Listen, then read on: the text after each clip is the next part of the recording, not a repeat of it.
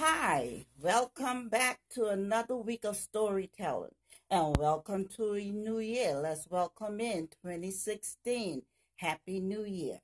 The story I want to bring you this week is there are two dogs.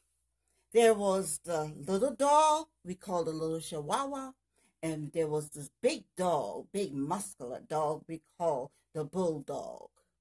And each day when the master would walk his bulldog beside the fence of the little dog, the little dog will rear up with his little petite body and just bark, bark, bark at the bulldog as the bulldog just struck beside the fence and looked on the side as he walked by. See, the little dog, the little chihuahua was so confident because his master always would close the gate. And so each day that bulldog will walk by, that little chihuahua will go up to the fence and he just barked until his heart out. He just barked until he couldn't bark no more. And he raised his little chest up and say, you think you bad? You come and get me. See, the chihuahua knew that the gate was closed. So the Chihuahua was so confident that nothing was going to happen to him. So this went on for a period of time. And so just so happened one day, the master forgot to close the gate. And as the bulldog went for his daily walk along with his master, the little chihuahua ran off the porch when he saw the bulldog approaching walking alongside the fence.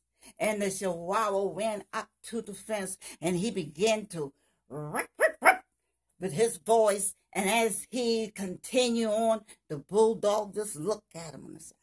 And the chihuahua just took his little, little bird chest out. And he was in his mind, he was just saying, Ha, you think you bad, you come and get me. So, but the chihuahua had no idea as he got to where the gate was, the gate was wide open. Oh, it was too late. The bulldog got loose and the bulldog began to whip the chihuahua from side to side.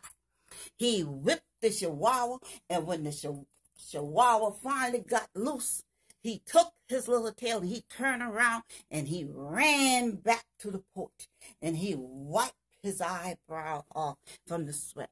And he turned around and he looked back at the fence and he said, Who in the hell left the gate wide open? And that taught that chihuahua a lesson.